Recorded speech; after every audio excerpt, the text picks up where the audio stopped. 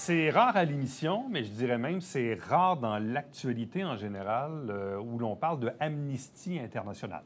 Le nom vous dit quelque chose, il est connu depuis fort longtemps.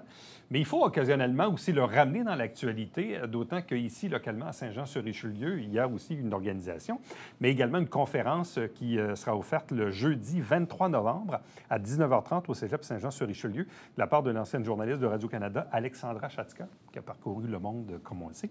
Avec nous pour en parler, Mme Christiane Prudhomme, qui est l'une des militantes d'Amnesty International à Saint-Jean-sur-Richelieu. Bonjour et bienvenue. Bonjour, merci euh, d'avoir, euh, de nous avoir euh, interpellés pour cette conférence-là. Petit rappel pour les gens qui disent Oui, oui, ça nous dit quelque chose, Amnesty International. Qu'est-ce que c'est au juste comme organisation? En fait, je vais vous citer la formation de l'organisme qui décrit bien notre mandat. C'est un avocat de Londres, Peter Benenson, en 1961, qui a été indigné de lire dans le journal que quatre Portugais étaient condamnés à la prison pour avoir porté un toast à la liberté. Alors, euh, il en a parlé à ses collègues euh, qui étaient aussi avocats, etc. Et ils ont commencé à écrire des lettres aux administrations pour euh, leur signifier leur indignation, etc. Alors, c'est comme ça qu'est né Amnesty International. Ce qu'on fait, c'est qu'on s'indigne lorsque les droits humains sont bafoués. On s'indigne de toutes sortes de façons. On écrit des lettres, on signe des pétitions, etc.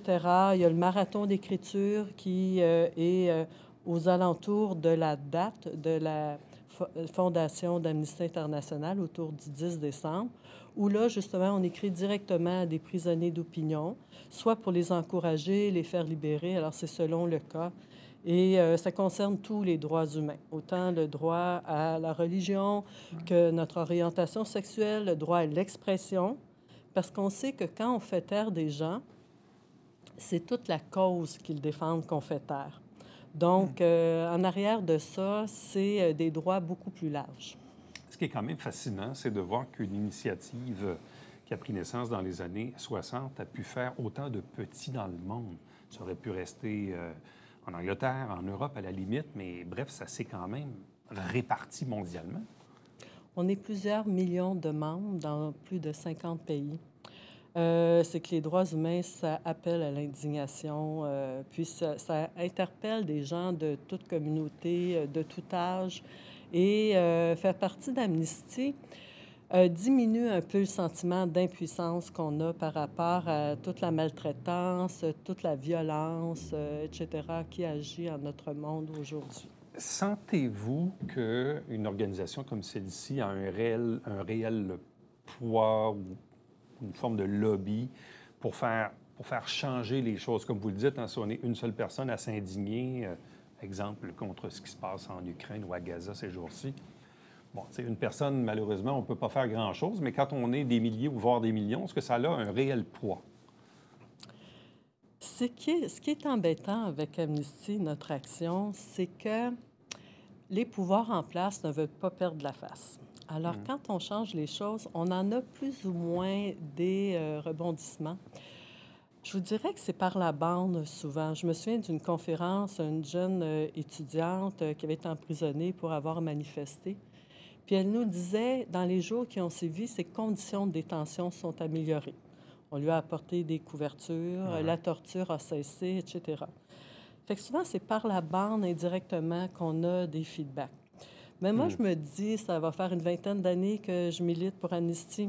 Si j'ai aidé une personne, si ma contribution a pu alléger le fardeau d'une personne qui, elle, dans son pays, défend les droits humains, je suis pleinement contente de mon, mes interventions. C'est des gestes. L'an dernier, j'ai reçu un monsieur de Saint-Jean, un homme d'affaires, qui est parti avec son sac à dos pour aller aider en périphérie de l'Ukraine. Bon, évidemment, c'est une personne de l'Inde. Il est allé en Pologne il se sentait bien face à ce geste-là. La semaine dernière, on a reçu une dame de Saint-Jean qui était fonctionnaire à l'hôtel de ville, qui a créé une chanson pour la paix. Bon, vous allez me dire, c'est une goutte d'eau dans l'océan, mais bon, des fois, on, a besoin peut-être, et c'est peut-être ce, que les, ce que les militants d'Amnesty euh, ressentent en s'impliquant dans cette organisation-là, sentir, comme vous dites, si on, peut faire la différence, si ce n'est que pour une seule personne dans le monde. Euh, on se dit mission accomplie. Absolument. Puis je vous dirais que j'en ai entendu là, au cours des 20 dernières années plusieurs témoignages. Puis à chaque fois, c'est une petite dose de vitamine parce que justement, on n'a pas beaucoup de feedback. Puis je me dis, à chaque fois, j'ai un feedback. OK, il y en a un qui a pu se rendre à moi un feedback, mais il y en a d'autres en arrière qui n'ont pas pu se rendre à moi. Mais vous avez dit un mot, hein, ne pas perdre la face. Puis je me rappelle, quand, quand on a eu le début du conflit en Ukraine, souvent dans l'actualité, dans les médias, on entendait dire bien, la seule voie de sortie pour la Russie et pour l'Ukraine, c'est bien sûr de mettre fin au conflit en ne perdant pas la face. Donc on voit comment malheureusement l'orgueil, il joue beaucoup dans ce genre de conflit-là et euh, sur la façon de les terminer, euh, bien, heureusement dans certains cas. Dites-moi donc, je disais tantôt bon, qu'Amnesty, ça a fait des petits partout euh, à travers le monde. Ici, à Saint-Jean-sur-Richelieu, Amnesty, à, quelle forme? Est-ce qu'il y a beaucoup de monde qui s'en occupe? Est-ce qu'il y, a beaucoup d'organisations au Québec, au Canada? Il y a plusieurs, je vais vous parler pour le Québec, il y a plusieurs groupes universitaires, cégepiens, même secondaires. Et il y a plusieurs groupes, si ma mémoire est bonne, entre 20 et 30 groupes comme nous, euh, d'adultes locaux d'une excusez-moi, d'une municipalité qui se rencontrent. Nous, bon an, mal an, on est entre 6 et 12 membres actifs, mais on a des sympathisants autour de nous là, qui nous encouragent selon le cas, des activités, etc. Et localement, qu'est-ce que vous regardez? Regardez-vous des, des, des cas d'injustice euh, localement ici au Québec, au Canada, en Amérique, ou vous regardez ça de façon plus large? Bref, quand vous vous rencontrez, c'est quoi l'objet de vos discussions? On discute euh, les groupes, euh, les, euh, les prisonniers d'opinion qu'Amnesty International centrale francophone du Canada nous fournit comme information. Alors, selon les périodes, on a eu certains prisonniers qu'on avait des dossiers qu'on dit qu'on partageait avec d'autres groupes. Donc là, on avait des interventions ponctuelles qui venaient de plusieurs pays en même temps. Fait qu'ils nous suggèrent à qui écrire les adresses, etc. Ah ah c'est beaucoup l'écriture qui est notre arme, si on veut, pour défendre les droits humains, notre outil, j'aime mieux dire notre outil. Et euh, il y a le marathon d'écriture qui se passe en même temps dans une cinquantaine de pays.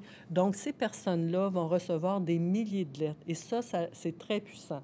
Moi, on a euh, quelque chose comme 75% euh, environ de libération euh, si on fait la moyenne des 20 dernières ah années. Ah c'est énorme. C'est très puissant comme, euh, comme action parce que, comme je vous dis, ils reçoivent des milliers de lettres. Ils ne peuvent pas taire, euh, taire cette action-là. Puis, fait que ça a toutes sortes de retombées. Là, ici, on le disait en introduction, euh, jeudi, le 23 novembre, 19h30, au Cégep Saint-Jean, conférence, conférence euh, dont l'invité est Alexandra Chatzka. Est-ce que, est que, occasionnellement, vous, vous tenez ce genre d'événement-là à chaque année? Ou, euh, oui, en fait, on vise à faire une conférence annuelle. Euh, on a déjà un conférencier en vue pour avril 2024, mais je ne dirais pas tout de suite l'information parce que rien n'est confirmé. Mais euh, là, avec la pandémie, c'est sûr, pendant trois ans, euh, on n'a pas fait ce genre d'action-là. Alors, on reprend avec cette conférence-ci. Au collège, c'est au café étudiant. Donc, on rentre par la porte 41 près de la piscine. Il y a des stationnements aux alentours, etc. Bon.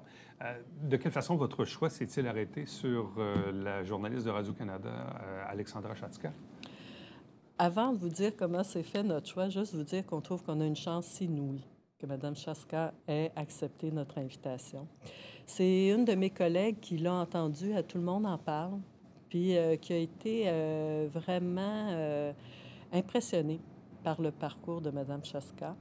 Euh, on n'est pas personne des spécialistes de toute sa carrière. C'est très, très long. Hein. Elle a fait beaucoup, beaucoup de, pays, de, de, reportages, etc., à travers le monde.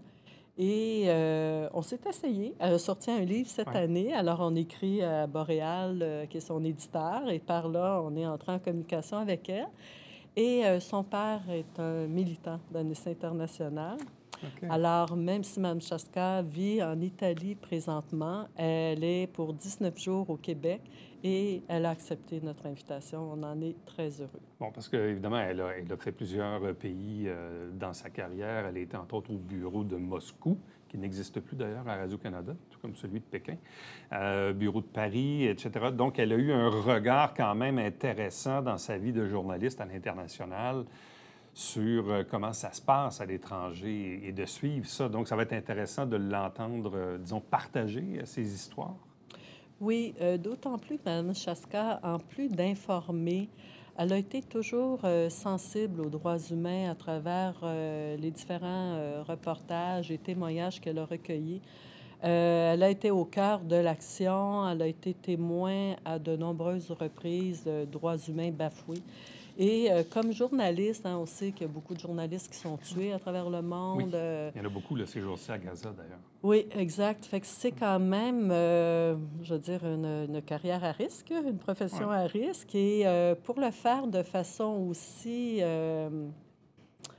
intégrée, vraiment de, avec toute conscience, on est vraiment content qu'elle ait accepté notre invitation. C'est une conférence qui est totalement gratuite? Absolument, pour tout le monde. Euh, voir ça comme un cadeau que le groupe de Saint-Jean offre à la communauté. Est-ce que les gens doivent réserver à l'avance? Pas du tout. On a prévu une pile de chaises de, surplus si jamais euh, ça dépasse la capacité de la salle, mais on n'est pas inquiet à ce niveau-là. Il y aura moyen d'avoir des aménagements. Bon, bien, c'est fort intéressant. Donc, je le répète, jeudi 23 novembre, 19h30, c'est gratuit, pas besoin de s'inscrire à l'avance porte 41 au Cégep, pas loin de la piscine, Cégep Saint-Jean. Conférence de la journaliste à la retraite Alexandra Chatzka de Radio-Canada, qui a parcouru une cinquantaine de pays euh, dans sa vie. Donc, c'est organisé par Amnesty International Canada, la section de Saint-Jean-sur-Richelieu que représente ici même Mme Prudhomme. Un gros merci. C'est super merci intéressant. Merci à vous. Merci bien. Merci. Restez avec nous. On vous revient après ceci.